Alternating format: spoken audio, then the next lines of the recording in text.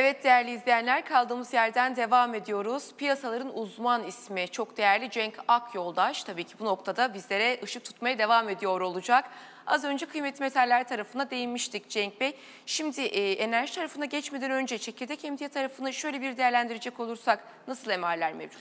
E, baktığımız zaman aslında emtia tarafında aslında bölgeye geldiğimizi söylemek mümkün. Bu bölgenin ötesine geçmemiz hakikaten e, burada ekonomide ciddi bir daralmanın, ciddi bir soğumanın olduğunu bize gösteren bir gösterge olarak okurum ben. Evet. E, o nedenle mevcut konjöktürde koru, e, e, hikayenin devamlı için e, bu bandın bir şekilde bizi taşımaya devam ediyor olması lazım.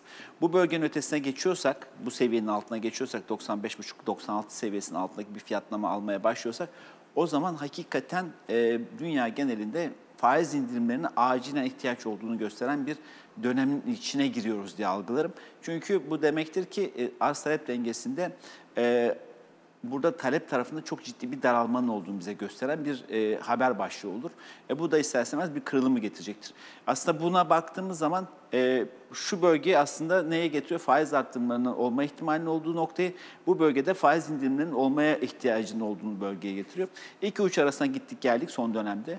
Biliyorsun burada e, FED'e Powell'a ne sormuşlardı? Acaba ajandanızda faiz arttırımları olabilir mi söyleminden işte 4.70'leri zorlayan bir 10 yıllık görmüştük. Şimdi de 4.15'leri, 4'leri zorlamaya çalışan kafasında kurgulayan bir piyasanın olduğu dönemdeyiz. Faiz indirimlerinin arifesindeyiz. Bu sefer de geldiğimiz nokta burası.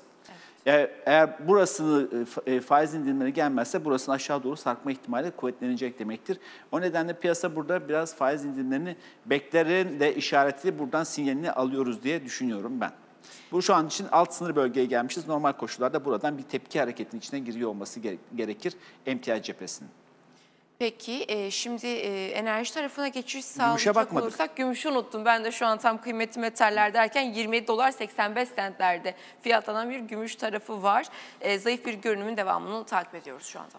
Gümüş analizlerimizi takip edenler biliyorsun hatırlarsan evet. şundan bahsediyorduk. Bu bölge kırmızının kırılması halinde mavi bölgeye geleceğiz. İşte o bölgede dengelenme çabası eğer bu dengelenme çabasında yukarı doğru harekette kırmızıdan teyit alırsak aşağı yönlü bir %4'lük marj açılma 27,5'lara kadar geri çekilme potansiyelimiz olduğundan bahsediyorduk. E, ama o bölgenin de alt sınır bölge olmasını beklediğimi belirtiyordum. Oraya geldik dendik ve oradan bir tepki vermeye başladığımızı söyleyelim. 27,5 önemli bir destek noktası. Şimdi 27,5 ile 28,5 arası biraz dokuyacağız. Yani çünkü şu burada dağıtılan malların bir şekilde bu bölgede toparlanması lazım. İşte ay sonuna yaklaşıyor. Vade kontrat e, kapatmalarının bitmesiyle birlikte ondan sonra tekrardan e, şekillen, piyasanın şekillenmesi e, şaşırtıcı olmayacaktır. Zaten eğer faiz indirimine yönelik bir haber başlığı gelecekse, işte demin baktık emtia grafiği, e, oradaki emtia sepetinde de alt sınır bölgeye geldik. Burası da alt sınır bölgeye gelmiş, gelmiş vaziyette. Evet. Eğer hakikaten burada tersine doğru bir evrim olacak ise, yani tahvil faizleri yukarı, DXY yukarı, FED bir şey yapamıyor, istihdam çok kuvvetli gelmeye devam ediyor gibi kötü söylenen senaryodan bahsediyorsak o zaman bizim burayı da e, taşımama ihtimali olur. O zaman demin bahsettiğimiz 95-96 sınırı e, emtia sepetinde de aşağı yönlü kırılma ihtimaline bahsediyoruz. O zaman da aşağı bölgelerden. Ama normalde o benim e, arka plandaki senaryom. O senaryoyu ben şu anda e, düşünmüyorum. Bu bölgelerin artık aşırı satım bölgesine yakın bir bölgeye de gelmiş vaziyetteyiz. Evet. E, buralardan artık bir tepkiye girmesi lazım. Bu tepkide de üst sınır bölgesi 29'a kadar, 28,5-29 aralığına kadar bir tepki hareketine içine girmesi şaşırtıcı olmamalı.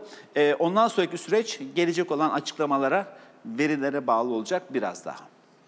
Peki şimdi gümüş tarafında aktarmış olduk bu böylelikle. Enerji tarafında ise yine WTI noktasında kısa vadeli e, ekonomik göstergeler adına üst bölgelerde olduğumuzu belirtirken bunun ötesi içinde sıcak bir gelişmenin gündeme gelmesi gerekiyor diye de vurguluyorduk WTI adına. Evet o söylemlerimizi buralarda geliştiriyorduk. Evet. Oradan başladık aşağı doğru geldik alt banda e, 76,5-77 bölgesine dengelendik. Oradan şimdi tekrardan tepki veriyoruz. Bu tepkide üst sınır bölgesi olarak takip edeceğimiz seviye 79,5-80 e, bandı olacağını belirtelim. Şu ortalamaların kümelendiği bölge bizim için oldukça e, katı bir bölge konumuna geçti. Üstü altı bizim için önemli. E, bu bölgenin üzerine çıkabilmemiz için bazı haber başlıklarına ihtiyacımız olduğunu söyleyelim. Şu an için bir süre daha bu bölgenin altında kalmaya, tepki hareketlerinin orayla sınırlı kalması, vade sonunun işte e, ay sonunun tamamlanması e, bir sonraki e, döneme geçtiğimiz zamanki yapıya bakmak lazım. İşte FED toplantısı onun için e, önümüzdeki hafta önemli olacak. İstihdam verileri önemli olacak. E, onlara baktıktan sonra bir şekilde hareketlenmeye gelecek. İşte yani yine Japonya'yı atlatacağız. O takdirde tekrardan buradaki o dokuma sonrasında yani bakarsan aslında böyle periyot periyot hareketler yapıyor. İnsanların beklentisi yönünde ani bir ters hareket sonra normalleşme. Burada işte yukarı bandı zorlama, bir anda aşağı doğru kırılma. Şimdi burada bir bant hareketi. İşte belki bu bant hareketinden sonra tekrardan bir aşağı doğru sarkıp ondan sonra yukarı doğru gitme piyasadaki kümelenmenin tersine hareket etmeye çalışan bir yapı var burada. Evet. Yani insanları kümelendiriyor bir bölgede topladıktan sonra sıkıştırıp onun tersi yönde hareket eden bir e, yapı olduğunu gösteren bir grafikten bahsediyoruz. Tabi burada ekonomik dinamikler ve jeopolitik riskler e, fiyatlama üzerinde ani değişikliklere yol açabiliyor. Kısa vadeli adına baktığım zaman ortalamaların kafaya aşağıya inmesi e, baskının devam etmesine ihtiyaç gösterdiğini belirtelim. Ama burada da demin bahsettiğimiz hikayeden dolayı eğer emtia endeksi aşağı yönlü geçecekse bunu da e, ben şu an hiç o, o senaryoyu zayıf gördüğümü belirteyim. E, çünkü e, daha böyle eğer hakikaten FED tarafını sıkıştırmak isteyen bir piyasa olursa, FED bir şey yapmayacağım sinyalini verirse siyasi belirsizlikten ötürü o zaman belki tabii bunların yaşanma durumu söz konusu olabilir. Bakalım önümüzdeki günler bize ne getirecek? Hakikaten merakla bekliyoruz. Peki WTI tarafının hemen ardından da Brent noktasına değinecek olursak teknik görünüme baktığımızda bu fiyatlamanın görece biraz daha taban çalışmasını aslında devam ettirdiğinin e, gösterildiğini söyleyelim bizlere. Peki Cenk Bey şu an hangi seviyeler önem arz ediyor? 82 dolar 45 centlerden işte. 80-80,5 bölgesel tepkiyi verdik. Yataylaşma evet. bant arasında gidiyoruz. 80,5-82-75 aralığında bir süre takılırız demiştik. Onun gerçekleştiğini üst bandına geldik dayandık. İlk kısa vadeli ortalamayı almış vaziyette bu önemli. Üzerinde kalıcılık sarıyla olan 82-41'in üzerinde kalıcılık gösteriyorsak şimdi ikinci hedefimiz 82-89. E, tabii Amerikan tipi ampetrol buraya göre biraz daha zayıf kalmış vaziyette şu anki e, grafiksel değerlendirme adına baktığımız zaman. Burada bir toparlanma ihtiyacı var. E, 82-90'ı aşabilirsek o zaman e, iş 83-70'lere kadar bir oyun alanı yaratacaktır. E, şu an için biz hala bu bölgenin içinde kalma ihtimalimiz var e, önümüzdeki haftadan itibaren şu aralığın içine girme potansiyelimiz oluşmaya başlar. Özellikle FED tarafından olası bir e, yumuşama sinyalleri, güvercin söylemlerin gelmesi gibi bir hikaye olursa o zaman biz bu bölgeleri daha net e, test etmeye başlarız. Ama yok Şahin duruşun devam ettir. E, tarım dışı istihdam tarafından böyle çok kuvvetli gelme, veriler bizi desteklemez nitelikte olursa o zaman bu bölgede kalmak hatta belki şu aşağıları da test etmemiz gündeme gelecektir. E, piyasadaki soğumanın artma ihtimaline karşılık. Peki evet enerji piyasasını bu şekilde analiz etmiş olduk. Fiyatlamalar noktasına değindik. Buradan kripto para piyasası noktasında Bitcoin özeline değindiğimizde ise e, teknik düzeltme sınırları içerisinde olan bir yapıyla karşı karşıyayken 63.300 ile 65.500 aralığındaki bölge e, konsolidasyon aralığı diyordu Cenk Akyoldaş. Şu anda 65.000 sınırını geçmiş 66.929 seviyesine gelmiş bulunmaktayız. Yine Cenk Akyoldaş'ın aynı söylemini belirttiği gibi. 78-60 seviyesine FIBO e, seviyesine gittikten sonra 68 evet. binlere oradan bir realizasyon başladı. Realizasyon birinci bacağı şu ortalamanın olduğu seviyeydi. Oradan bir tepki denemesi oldu. O tepki denemesi başarısız olunca dedik ki buradaki hikaye aşağı doğru sarksa da nereye kadar olmalı? Şu kümelenmenin olduğu seviye 63.300, 63.500. O bölgeye kadar geldikten sonra oradan hızlı bir toparlanma içine geldi. Bir onay aldı aslında. Evet. Onay alma hareketi olarak değerlendirmek lazım. Hemen kendisini tekrardan 65 bin üzerine attı. Hatta 67 binlere kadar getirdi. Bundan sonraki süreçte şimdi 68 bin bizim için hakikaten hala e, direnç konumunda olduğunu belirtelim ama e, bu bir yükseliş trendinin e, desteği noktasında hareket ediyorsa bundan sonraki süreçte 68 bin aşılması halinde, e biliyorsun e, cumartesi günü Trump bir e, coin toplantısına katılması beklentisi, evet. beklentisi var. Oraya yönelik bir algı oluşmuş. Trump biraz daha bu piyasayı destekler nitelikte hareket ediyormuş algısı oluşmuş vaziyette. Bu da ister istemez buradaki hareketin bir tık daha yukarı doğru evrilmesini sağlayabilir. Trump'ın başkanlık tarafındaki gelişmeleri kripto piyasasının biraz daha önünü açabileceği beklentisi ister istemez burayı bir motivasyon yaratıyor. Ama şunu da unutmamak lazım. Ekonominin temel dinamiklerinden de burası her ne kadar eskiden kendi başına bağımsız hareket edebilse de şu anda temel dinamiklerde de hareket ettiğini, işte Fed'in söylemlerinin burada da önem kazanabileceği önemli evet. bir noktadayız önümüzdeki hafta. Ee, eğer e, o gazı Trump tarafından devam ettirebilirlerse, Trump'ın şu andaki aradaki farkın kapanmış olması da aslında e, ilginç biliyorsun 3 puanlardan 4 puanlardan Biden'a daha karşı daha fazla puan fark vardı. Şimdi 1'e gelmiş vaziyette. E, bu da ister istemez e, etkili olacaktır önümüzdeki dönem adında. E, Trump hikayesiyle beraber 68 bin aşabilirsek o zaman 72 binlere doğru bir hareket alanına açılma potansiyeli tekrardan gündeme gelir. Ama yok 68 bini geçemez isek hı hı. o zaman tekrardan e, bekleyeceğimiz nokta e, muhtemelen kafa kısa kalır. Yani burada 68'ine gidemeden geri dönüş hareketi tetiklenirse e, 64,5'lara kadar bir geri çekim hareketi şaşırtıcı olmamalı. Peki e, şimdi biraz günlük taraftan geniş perspektife bakıp haftalık olarak incelediğimiz takdirde fiyatlamalar nasıl okunuyor Cenk Bey? Bakalım ona da bakalım haftalık olarak incelediğimiz haftanın son işlem gününde ve Trump'ın tabii ki e, Bitcoin öncesi, görüşmesi öncesi. Hatırlarsan şunu söylüyorduk, ortalamanın kesiştiği kümeye evet. 63.500, 63.300 noktası. Oraya kadar gelip bir onay alma ihtiyacımız var. Oraya kadar gelişi ben bir e, teknik açıdan onay derim. Geldik oraya kadar ve oradan nasıl hızlı bir tepki verdiğimizi görüyoruz teknik açıdan baktığımızda. Ama geldiğimiz bu nokta hakikaten bizi e, yoran bir nokta farkındaysan şurada mesela üzerine taşmışız. Burada son iki haftaları üzerine taşmaya çalıştığımız bir trend çizgimiz var. Bu trend çizgisi oldukça kritik bir eşik. Bu da işte yaklaşık 68 bin seviyesine tekabül ediyor. Onun üzerine geçersek o zaman yukarıda bir oyun alanı açılma durumu söz konusu olacak. Orası neresi? 72 bin, 74 bin 550 aralı. E, buraya geçmekte çok kolay değil. Hakikaten e, bayağı bir mücadele veriyoruz. Aynı zamanda baktığınızda şuradan yataydan da bir e, direnç bölgesi oluşma potansiyeli olabilecek aralık olarak okuyorum şurası. Şurası hakikaten kritik bir bölge. Oranın içine girmeye çalışıyor. Girmekte de biraz zorlanıyoruz. Ee, bakalım bu dediğimiz kongreyle beraber bir e, gelişme olabilecek mi? E, bu bölgenin içine girebilecek miyiz, giremeyecek miyiz? Bu haftanın kapanışı bu seviyelerde olur. Önümüzdeki haftada buraların bu etrafta kalabilirsek o zaman biz kısa vadeli 63.300'de bulunan ortalamanın daha uzun vadeli olan 63.500'de bulunan ortalamayı üste doğru kesmesi beklenir. Bu da bir al sinyali oluşturma potansiyelini işaret ettiğini belirtelim. Daha henüz al sinyali oluşturmuş değil olduğunu da söyleyelim. Bitcoin tarafındaki eşikleri de bu şekilde almış olduk Cenk Ak Yoldaş'la birlikte. Peki şimdi bu noktada yakından takip ettiğimiz endekslerin başında olan MSCI tarafının teknik görünümüne baktığımızda yine belirttiğimiz gibi karar haftalarının birinde seyrederken Akyol'da şunda teknik görünümde e, tokas e, takos formasyonunu sevmediğini ve alt bandın kırılması halinde ise işin derinleşip aslında bozulmalara sebebiyet gösterebileceği noktasında sürekli vurgularını yaptığını takip ediyorduk. Tam olarak da bu şekilde bir e, perspektif izlendi. Şu an nasıl okunuyor Cenk Bey yeni hareketler? Haftalık grafikte başlayalım sonra günlük grafiğe dönelim evet. burada. Çünkü bizim canımı sıkan e, grafik olarak bahsettiğim, hoşlanmadığım, sevmediğim grafik dediğim tarz buydu.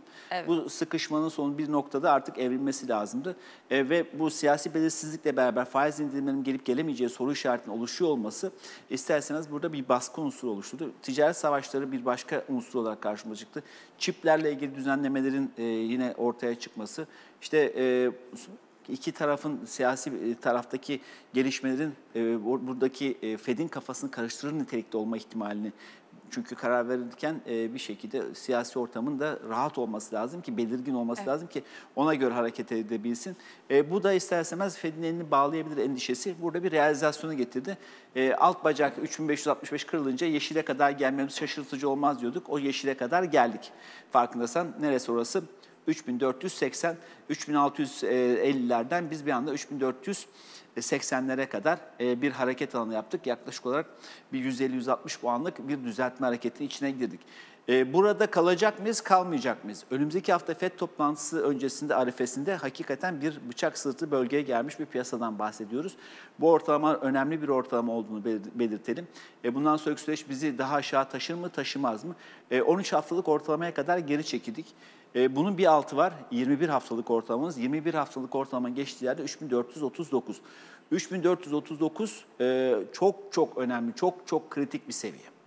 O bölgenin altında bir fiyatlama alıyorsak o zaman daha derinleşen bir kriz ortamına giren bir piyasadan bahsediyoruz demektir. E, bu da ister istemez e, baktığımız zaman e, daha kalıcı bir e, sürecin önünü açabilir.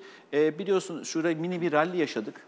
Evet. Büyük düzeltme hareketlense gelip 21 haftalık ortamaya gelip burada işte 4.70'lere kadar bir giden tahvil piyasası görmüştük. Sonra 4.10'lara e, kadar giden tahvil piyasasında biz e, bu hareketi gerçekleştirdik. E, bilanço dönemi içindeyiz. Bilanço dönemi içinde gelen bilançolar şu anda tatmin edici gelmediğini söylemek mümkün. Bu da bir diğer faktör. Çarpanlar açısından baktığımız zaman hep burada belirtiyorduk. E, piyasa değerleri açısından baktığımız zaman büyük şirketler işte 40-50 şirket S&P'nin e, işte %60'ını oluşturduğu zaman tehlike çanları çalar. İşte o tehlike çanlarının çalmaya başladığı noktadayız. İşte bu o bölge zaten biz o programları yaptıktan sonraki sürece bakın iki hafta öncesinde konuşuyorduk bunu, iki üç hafta öncesinde konuşuyorduk. Zirvelerin oluştuğu seviyelerde. Ondan sonra şimdi bir rotasyonun başladığını görüyoruz ve bu rotasyonla beraber aynı dönem içinde işte bir sürü hikaye gerçekleşti. Trump'ın söylemleri, Biden'ın ticaret savaşlarını tetikletmesi gibi bir sürü hikaye buradaki realizasyonu getirmiş vaziyette pariteler arasındaki ilişkilerdeki gelişmeler, işte e, Japon yeni bir değer kaybediyordu, şimdi tekrardan değer kazanım noktasına kadar geldi. Ee, Avrupa tarafında bir anda siyasi belirsizlik oluştu, seçimler gerçekleşti. Farkındaysan çok karışık bir dönemden evet. geçiyoruz. Bu karışık dönemde e, fiyatlamalarda bir yerden sonra doygunluğa ulaştı ve bir realizasyonu getirdi. Bundan sonraki süreç dediğim gibi eğer FED tarafını biraz daha sıkıştırmak isteyen bir piyasa varsa hareket etmesi için bizi e, buralara kadar geri çekilmemiz çok şaşırtıcı olmaz. Eğer FED tarafını hareket ettiremiyorsa o zaman ondan sonraki süreç burayı da aşağı doğru kırılma ihtimali gündeme getirir. E, bakalım FED onun için e, önümüzdeki hafta çok kritik Eylül ayına bir faiz indirimi sinyalini oluşturması şart gibi gözüküyor piyasaları ipten alması adına. Peki şimdi bu katastrofik ortamda haftalık olarak inceledikten sonra biraz daha dar perspektife çekecek evet. olursak göstergelerimizi. Dar, dar pers e, perspektiften baktığımız zaman şunu Hı -hı. görüyoruz mevcut bir kanal içinde hareket ediyorduk. Evet. Kanalın dışına taştık. Bizi taşıyan bir maviyle gözüken ortalamamız vardı. E neydi? 50 günlük ortalama, 50 günlük ortalamanın da altına sarktık. Arada 3535 tepki noktasındaki üst sınır bölge oldu. Oraya, farkındayız oraya kadar bir tepkidik. Geçtiğimiz e, o da orası da bizi kurtarmadı. Aşağı doğru sarkmaya devam ettik. Şimdi bundan sonraki süreçte e, ister istemez 3498 bölgesinin de taşımasını beklerdik. Orasını da altına sarktık. O zaman bizim için neresi kaldı? Güvenli liman olarak takip edebileceğimiz son hareketin dönüş noktasını sağlayan yeşile gözüken ortalama. Nereden geçiyor? 3445'lerden. Haftalık grafikte de aynı benzer bir seviyeye işaret ediyor farkındaysan. Bizim için önemli eşik 3440 ile 3445 bölgesi. Oraya kadar sanki FED toplantısına kadar piyasa oraya kadar baskılayacak FED'den istediğini alacak, almayacak. FED'den istediğini alamazsa o zaman şu bölgeye doğru bir hareketin tetiklenmesi. Diyorum ya bazen piyasalar challenge'a girerler merkez bankalarıyla. İşte nasıl e, Japon yeninde bir yukarı doğru 162'lere kadar bir e, mücadele geldi ama sonrasında e, bir şekilde bu püskürtüldü. Evet. Oraya kadar müsaade edildi ama endeksin de bir yere kadar gitmesine izin verildi. Ondan sonraki süreçte resim bir anda tersine döndü. Yine burada da işte bir şekilde piyasa FED'den istediğini alabilmek için belki e, buraları zorlama durumda kalabilir önümüzdeki dönem adına. E, burada işte Fed'in masaya gelebilmesi, bu aksiyonu alabilmesi için e, biliyorsun hep kendilerini bağlamış vaziyetler. Neyle?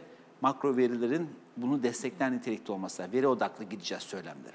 Veri odaklı olmaları e, mevcut konjonktürde e, faiz indirimleri yapmalarına engel oluyorsa, siyasi belirsizlikle faizleri indirme e, e, belirsizliği yaratıyorsa o zaman piyasa belki bunu kendisi bir e, zemin hazırlayarak bunu almaya çalışacaktır. Öyle bir olgu olursa.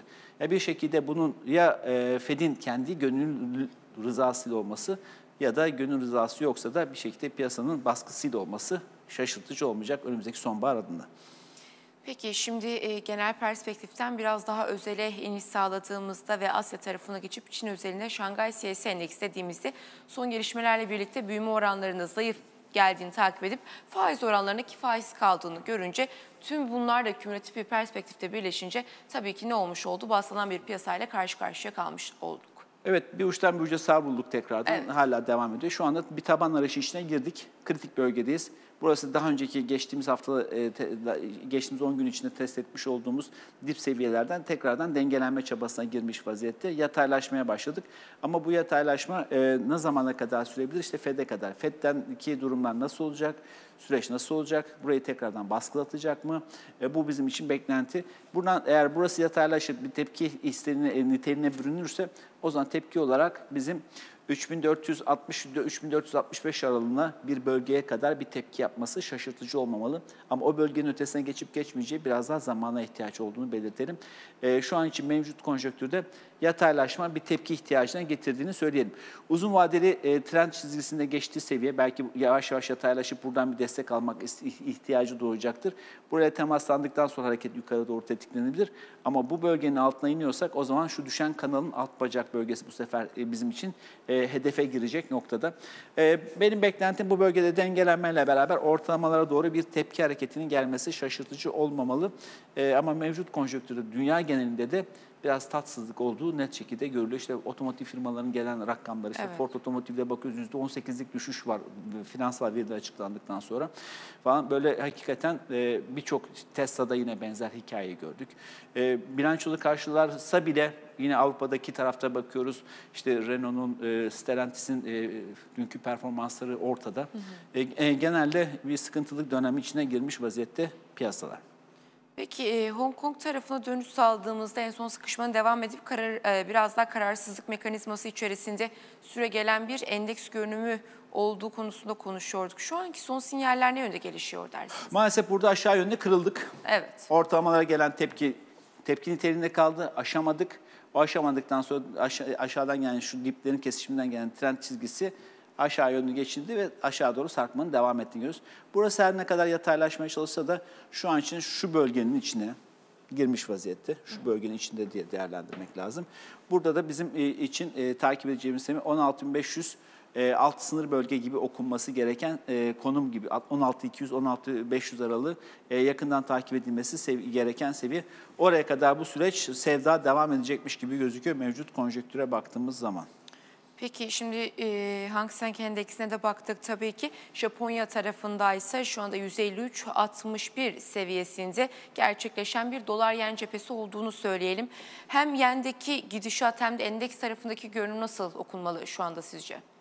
E, buradaki seyre baktığımızda hakikaten aşağıda ciddi bir kopuş oldu, ciddi bir savruluş evet. olduğunu görüyoruz. Bütün kazanımlarını yani şuradaki 10-15 gündeki kazanımları bir hafta 10 gün içinde tekrardan hepsini geri vermiş vaziyette Hı. olduğunu görüyoruz.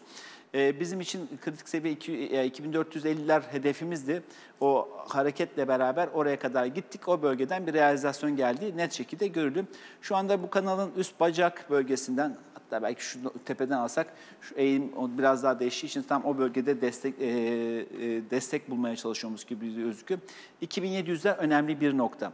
2700 bölgesinden aslında burada da bir dengelenme gelmesi gerekiyor hakikaten baktığımız zaman bu dengelenmeyle beraber yukarıdaki şu yeşilde gözüken ortalama. Bu yeşilde gözüken ortalama biliyorsun şu bölgede bizi taşımış ve oradan ciddi bir tepki vermiştik. Evet. O bölgenin aşağı kırılması aslında zayıf bir piyasaya işaret etmeye devam ettiğini bize söylüyor.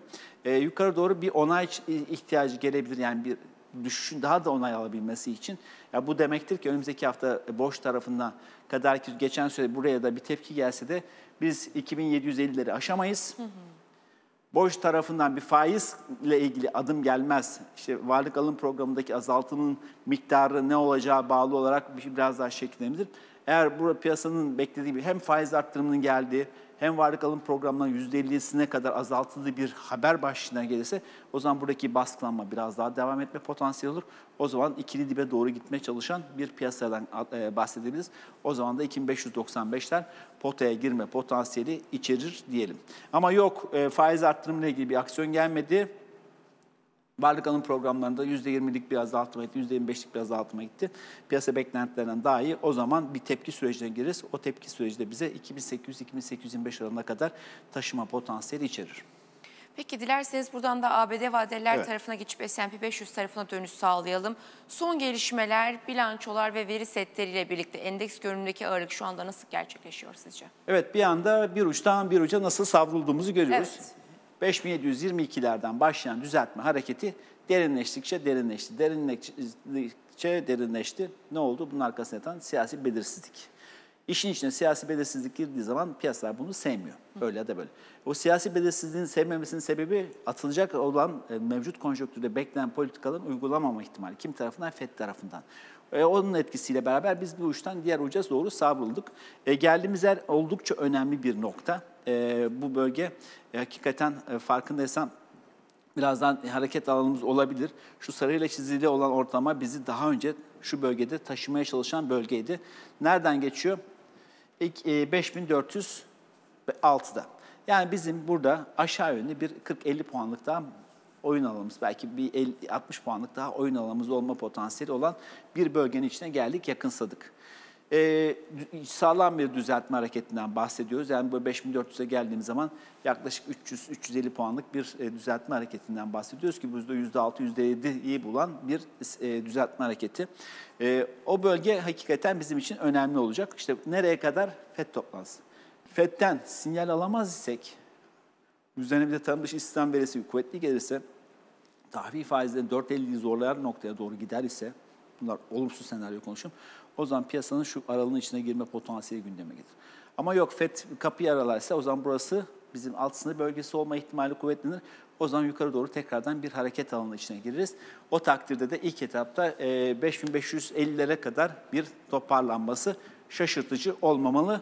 Hatta 5590'lara kadar toparlanma şaşırtıcı olmamalı. Ama o bölgenin ötesine geçebilmesi için de e, Fed'in yumuşak bir söylem içinde olması, üzerine tarım dışında da bir yumuşama, işsizlik oranlarındaki yumuşamanın devam ediyor olması gerekliliği şart. FED sürecine kadar önümüzdeki çarşamba gününe kadar tabii ki endeksler noktası da oldukça yine e, önem arz eden bir süre zarfından geçiyor olacak. FED kararıyla birlikte aslında biraz Hızlı daha bir de Nasdaq'a da bakalım istiyorsan ama ondan sonra Nasdaq borsaya endeksini de inceleyelim sonra yurt içerisine dönelim Cenk. Nasdaq tarafında da farkındaysan şu ortalama bölgesi önemli. Şu trend kırıldığı zaman bizim için iş bozulur diyorduk. Evet. O trend kırılınca resim ne kadar hızlı şekilde e, sarpa sardı. Mavilerde bir dengelenme, sonrasında aşağı doğru baskılanma, uzun vadeli ortalamalar büyük kanalın alt sınır bandına geldik. Burada da kritik bölgeye geldiğimiz net şekilde gözüküyor. Dünya endeksinde de kritik bölgedeyiz, burada da kritik bölgedeyiz. Buralar artık dengelenme noktası, tepki noktası. Zaten hafif bir te- yukarı doğru tepki e, verdiğini söylemek mümkün. E, 17.000-17.050 aralığı burada alt sınır bölgesi. Eğer orası kırılıyorsa o zaman hakikaten biraz daha sıkıntılı bir dönemin içindeyiz diye adlandırabileceğimiz noktalar. Ee, özellikle de 16.500'e kadar belki o takdirde geri çekilme e, yaşanabilir. Ama 16.500'ün altındaki bir fiyatlama başka bir hikayeyi bize getiriyor demektir. Ee, or- buralar normalde bir yükseliş trendi içindeysek e, dengelenme noktasının olması gereken alt sınır bölgelere yaklaşmışız diye adlandırabiliriz kritik süreçte ilerleyen bir de Nasdaq endeksi mevcut. Peki şimdi küresel tarafın analizini gerçekleştirmiş olduk. E, haftanın son işlem gününde, Cuma gününde Borsa İstanbul tarafına dönüş sağladığımızda öncelikle belirtelim dördüncü işlem günü olan dünü 10.871 puandan kapatmıştık. %1.09'luk değer kaybıyla ki baktığımızda 29 Temmuz pazartesi günde Akbank ve Anadolu Sigorta'nın bilançolarını almış olacağız. TAV Havalimanları'nın hemen ardından. Şimdi baktığımız zaman günlük grafik tarafından gidelim. Hatırlarsan şundan bahsediyoruz. İst stop olarak takip etmemiz gereken ilk iki ortalamamız var. Neydi? 3 ve 6. Altın üzerine kaldığımız sürece rahatız. Altın altına indiğimiz zaman tedirgin olmamız Tedirgin. lazım. Ee, ben huzursuz oluyorum. Şu bölgede işte 3'ün altına inme zorlamaya başladık şuralarda. 6 günlüğü test etmeye başladık. Şurada 6 günlüğün altına sarkınca iş 3 günde ciddi bir realizasyona döndü. Ee, şimdi burada bundan sonraki resme baktığım zaman e, özellikle dün şundan bahsetmiştik. E, 10.935'te bulunan bir trend göstergemiz olan parabolik sardan bahsetmiştik. Gün içinde 10.937'ye kadar ilk etapta geldik. Oradan 10.000, e, 11.000'lere doğru bir tepki hareketi içine girdik ama 10.935 bizi gün içinde taşıyamadı. Global taraftaki de satış baskısının devam ediyor olması bizi de etkiledi. Ve bununla beraber biz 10.935 ve 10.940'ta bulunan e, ortalamalarımızı aşağı yönlü geçtik. E, bunları geçince e, aşağı doğru baskılanma devam etti. Bu baskılanma ile beraber 10.840'lara kadar gittikten sonra 10.870'lerden kapattık gün. Şimdi resme baktığımız zaman yukarı doğru tepki hareketleri gelse bile bundan sonraki süreçte parabolik sar kendini yukarı taşıdığı için artık biz bir düşen trend içindeyiz. Kısa vade adına bir süre biz baskılanan bir piyasadan bahsediyor olacağız. Evet. Bu, bu da bize ne diyor, ne diyecek? Yukarı doğru tepki hareketleri, te, hareketler tepki niteliğinde, trend dönüşünden bahsetmiyoruz. Ee, o zaman o dirençler yukarıda çalışacak, bize tekrardan o bölgelerden satışlar gelecek. Bu noktada değerlendirdiğimiz zaman e, bizim ilk etapta şu aralık var ya, nedir bu? 10.820-10.985 aralığı bizim için e, konsolidasyon aralığı olma potansiyeli olan bölgelerden bir tanesi. Bu bölgenin içinde gelgitler olacak, bir yataylaşma. Burada dengelenebilecek miyiz, dengelenmeyecek miyiz? Bu çok önemli. Eğer dengelenme oluyorsa o zaman kendini tekrardan 11 bin üzerine taşıması lazım. Ee, ne zaman rahatlayacağız biz? Şuradaki kısa vadeli ortalamaların la temaslanmanın başladığı ve üzerine fiyatlarının çıkmaya başladığı zaman. Ne zaman onu aldığımız zaman piyasa diyeceğiz ki düzeltme trendini bitirdi. Hareket yukarı doğru gö, gözünü yukarı doğru çevirdi diye. Ama şu an için hala o da bu ortalama kafa aşağı eğik durduğu için ve biz o bölgeden uzak olduğumuz için baskılı dönemden geçiyoruz diye adlandıracağız. Şimdi bu bölgenin içinde konsolidasyon, genişi bu, darı bu. Tamam mı? Yani geniş olarak baktığımızda 10.820, 10.926, dar olarak baktığımız zaman 10.890, 10.960. Şu bölgeler bizim için oyun alanı. Burada bir bilek mücadelesi olacak. Alıcılar, satıcılar dengelenme çabası. Kim galip gelecek onu takip edeceğiz. Ama normal koşullar burada biraz daha baskının devam etmesi beklenir. Eğer öyle bir olgu içine giriyorsak piyasayı baktığımız zaman daha önceki son iki dipte nasıl bir hareket sergilemiş? Bir şurada hareket var, bir şurada hareket var. Evet. Ve ikisinde de farkındaysa şu kırmızıyla çizili ortalama bizim için kıymetli. O kıymetli olan ortalama nereden geçiyor? Şu an için 10.625'ten.